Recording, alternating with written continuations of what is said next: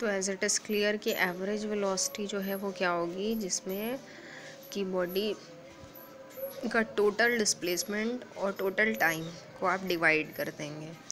और average velocity का इसके अलावा सिंबल भी होता है, जैसे कि अपने एवरेज स्पीड का सिंबल एवरेज स्पीड का जो है वो फार्मूला लिखा था total distance upon total time तो एवरेज वेलोसिटी का एक और फार्मूला भी होता है, जिसमें हम लिख सकते हैं।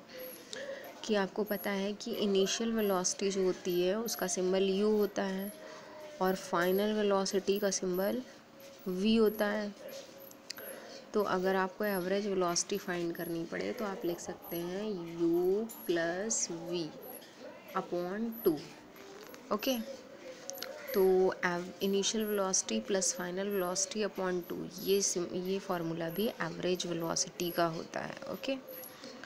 फिर आते हैं इंस्टेंटेनियस वेलोसिटी पर।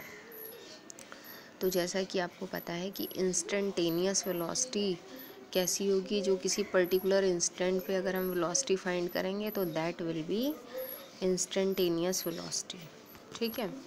तो ये चार जो है वो टॉपिक्स सभी में आएँगे। फिर आपका नेक्स्ट आता है टॉपिक यूनिफॉर्म मोशन तो जैसा मैंने आपसे कहा था कि यूनिफॉर्म स्पीड हो या यूनिफॉर्म मोशन हो। डेफिनेशन सेम रहेगी। तो यूनिफॉर्म और नॉन यूनिफॉर्म मोशन क्या कहलाते हैं? यूनिफॉर्म मोशन वो होता है जिसमें बॉडी कवर करती है equal distance equal interval of time okay तो that is called uniform motion और एग्ज़ाम्पल जैसा मैंने अभी आपको दिया था ट्रेन का एग्ज़ाम्पल जो है that may be the example of uniform motion इसी तरह से नॉन यूनिफॉर्म मोशन तो नॉन यूनिफॉर्म मोशन कौन सा होता है? जब बॉडी कवर करती है unequal distances equal intervals of time में तो वो क्या कहलाता है? नॉन यूनिफॉर्म मोशन ओके उसके बाद आपका जो नेक्स्ट टॉपिक आ रहा है that is what acceleration next topic है आपका एक्सेलरेशन तो एक्सेलरेशन क्या होता है? इसकी डेफिनेशन होगी the rate of change of velocity is known as acceleration तो आपको पता है कि एक्सेलरेट होने का मतलब क्या है कि अभी तक तक तो आपने वेलोसिटी पढ़ा। उसके टाइप्स पढ़े। अब वेलोसिटी अगर टाइम के साथ चेंज हो रही है, यानी कि जो आपकी वेरिएबल वेलोसिटी थी, अगर वेलोसिटी टाइम के साथ चेंज हो रही है तो इसका मतलब उसकी दो वैल्यूज़ हैं, एक इनिशियल वेलोसिटी और एक फाइनल वेलोसिटी तो एक्सेलरेशन क्या होता है? एक्सेलरेशन का मतलब होगा कि change in velocity per unit time time के साथ वेलोसिटी कितनी चेंज हो रही है या फिर इसको ये भी कह सकते हैं कि the rate of change of velocity with time भी कह सकते हो। अगर रेट वर्ड आ रहा है it means time is already included in that the rate of change of velocity is known as acceleration फिर इसका फॉर्मूला लिखेंगे तो A is equal to V minus U upon T फिर एक्सेलरेशन जो है, क्योंकि डिपेंड करता है वेलोसिटी पर तो एक्सेलरेशन एक वेक्टर क्वांटिटी है और उसकी जो ऐसा यूनिट होती है, वो मीटर पर सेकेंड स्क्वायर होगी।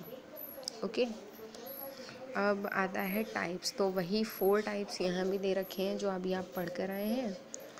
तो इनमें सबसे पहला है यूनिफॉर्म एक्सेलरेशन तो एक्सेलरेशन जो है, वो यूनिफॉर्म किस कंडीशन में कहलाएगा? जब जो वेलोसिटी का जो चेंज है, वो टाइम के साथ इक्वल हो रहा है। तो if a body if the velocity of the body changes equally with equal intervals of time तो then acceleration is uniform velocity में जितना भी चेंज हो रहा है, वो टाइम के साथ इक्वल है। वेरिएबल एक्सेलरेशन इसी का अपोजिट होगा कि अगर वेलोसिटी में जो चेंज है वो अनइक्वल है, यानी कि जैसे जो स्लॉट्स हैं उनमें प्रॉपर रेशियो नहीं है, जैसे वेलोसिटी पहले वाले केस में अगर हम यूनिफॉर्म एक्सेलरेशन की बात करें तो 10 मीटर पर सेकेंड फिर 20 फिर 30 मतलब 10 10 मीटर पर सेकेंड के गैप से इंक्रीज़ हो रही है।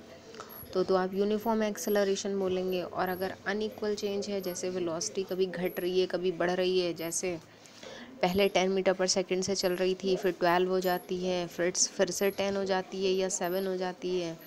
तो इसका मतलब कि वेलोसिटी में जो चेंज है वो कैसा है? अनइक्वल है टाइम के साथ। तो इसको वेरिएबल एक्सेलरेशन बोलते हैं। उसके बाद आता है आपका एवरेज एक्सेलरेशन तो एवरेज का मतलब वही है कि टोटल वेलोसिटी जितनी भी वेलोसिटी थी, वो total velocity divided by total time तो इसको बोलेंगे एवरेज एक्सेलरेशन इसी तरह से आपका आएगा इंस्टेंटेनियस तो इंस्टेंटेनियस किसी पर्टिकुलर इंस्टेंट ऑफ़ टाइम पे अगर एक्सेलरेशन को ऑब्ज़र्व करें तो वो इंस्टेंटेनियस कहलाता है। इसके अलावा भी एक्सेलरेशन के दो और टाइप्स होते हैं, और वो दो टाइप्स हैं, दो टाइप्स हैं पॉजिटिव और नेगेटिव एक्सेलरेशन तो पॉजिटिव एक्सेलरेशन जिसको पता है नॉर्मली एक्सेलरेशन बोलते हैं। तो पॉजिटिव एक्सेलरेशन वो होता है जिसमें वेलोसिटी लगातार इंक्रीज़ होती है। वेलोसिटी अगर टाइम के साथ इंक्रीज़ हो रही है तो एक्सेलरेशन कहलाता है पॉजिटिव इसका मतलब इसमें हम जो रिलेशन लिखते हैं ना एक्सेलरेशन का तो वो रिलेशन आपको पता है क्या होता है? A is equal to V minus U upon T तो अगर जो है वो फाइनल वेलोसिटी की वैल्यू ज़्यादा है और इनिशियल वेलोसिटी की वैल्यू कम है तो इसका मतलब एक्सेलरेशन का आंसर जो है वो कैसा आएगा? पॉजिटिव तो इसको पॉजिटिव एक्सेलरेशन बोलते हैं। तो it means V should be greater than U दूसरा है निगेटिव एक्सेलरेशन तो निगेटिव एक्सेलरेशन का अदर नेम जो है वो रिटार्डेशन भी होता है। तो अगर इनिशियल वेलोसिटी ज़्यादा थी और फाइनल वेलोसिटी कम हो गई, यानी कि आप बाय एप्लीकेशन ऑफ़ ब्रेक्स कह सकते हैं अगर ब्रेक्स लगाए गए किसी व्हीकल पर और उसकी वेलोसिटी घट गई तो इसका मतलब उसकी इनिशियल वेलोसिटी ज़्यादा थी फाइनल वेलोसिटी कम होगी। तो उस केस में एक्सेलरेशन जो है वो नेगेटिव होगा और उसको रिटार्डेशन बोला जाएगा।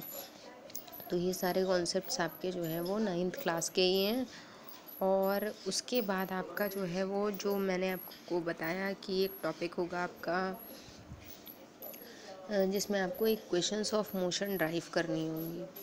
तो उसको ड्राइव करने से पहले आपको इंटीग्रेशन और डिफ्रेंसीशन सीखना होगा because in that derivation integration and differentiation terms are use उनको यूज़ किया गया है। तो सबसे पहले और कुछ ये न्यूमेरिकल्स भी हैं, इनमें भी इंटीग्रेशन और डिफ्रेंसीशन का यूज़ है। तो थोड़ा सा मैं आपको हिंट बता दे रही हूँ, क्योंकि आप डिफ्रेंसीशन इंटीग्रेशन को कॉपी में तो नहीं लिखेंगे, क्योंकि वैसे ये सिलेबस में नहीं है और ना ही इससे बहुत ज़्यादा टफ न्यूमेरिकल्स आते हैं। तो सबसे पहले एक एज अ हिंट मैं आपको बता रही हूँ कि कैसे सॉल्व करेंगे। तो देखिए, जैसे यस यहाँ एक क्वेश्चन दे रखा है, ये वाला नाइन्थ इसमें लिखा है the displacement of a particle varies with time T as तो डिस्प्लेसमेंट जैसे सीधा सीधा दे रखा होता था, अभी तक आपने पढ़ा है कि 15 मीटर या टेन मीटर ऐसे नहीं दिया है। ऐसे करके दिया है जैसे यहाँ लिखा है। X is equal to four T square minus fifteen T plus twenty five तो डिस्प्लेसमेंट टाइम के साथ चेंज हो रहा है, कितना चेंज हो रहा है रिलेशन यहाँ लिखा है। ठीक है? अब आपको फाइंड क्या करना है लिखा है find the position velocity and acceleration of the particle at T is equal to zero तो ज़ीरो टाइम पे आपको ये सारी चीज़ें फाइंड करनी है और आगे भी दे रखा है when will the velocity of the particle become zero किस कंडीशन में उसकी वेलोसिटी ज़ीरो होगी?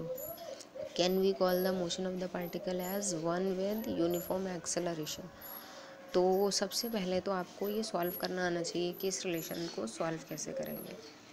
तो देखिए एक्स ये दे रखा है, यहाँ यूज़ करते हैं। अगर आपको चेंजेस ऐसे करके पता करने हैं कि डिस्प्लेसमेंट दे रखा है और फाइंड करनी है आपको वेलोसिटी एक्सेलरेशन अगर आपको इस ऑर्डर में जाना है तो आपको मेथड यूज़ करना है डिफ्रेंसीशन और अगर आपको इसके अपोजिट ऑर्डर में जाना है एक्सेलरेशन दिया है वेलोसिटी फाइंड करनी है डिस्प्लेसमेंट फाइंड करना है, तब आपको मेथड यूज़ करना है इंटीग्रेशन ठीक है?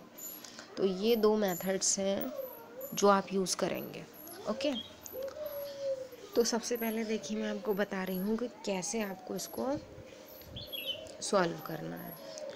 तो देखिए, ये जो रिलेशन गिवन था, इसमें अगर हम इसको लिखते हैं D X over D T ठीक है? तो डी ओवर डी टी किसका सिंबल है? डिफ्रेंसीशन का। तो यानी कि आपने क्या कर दिया? आपने एक्स का डिफ्रेंसीशन कर दिया।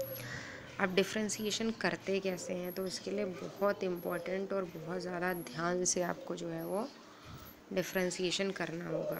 तो उसका तरीका ये होता है कि हर एक टर्म को पहले तो पूरे के साथ लिख देते हैं D over D T whole पे सिंबल लगाया आपने और ब्रैकेट के अंदर जो आपका रिलेशन है वो आपने लिख दिया, यानी कि जो गिवन था four T square minus fifteen T और प्लस ट्वेंटी फाइव और ब्रैकेट क्या कर दिया आपने? क्लोज ठीक है? अब आप हर एक टर्म का, क्योंकि यहाँ तीन टर्म्स हैं, एक टर्म है फोर्टी स्क्वायर दूसरा टर्म है फिफ्टीन टी और तीसरा टर्म है ट्वेंटी फाइव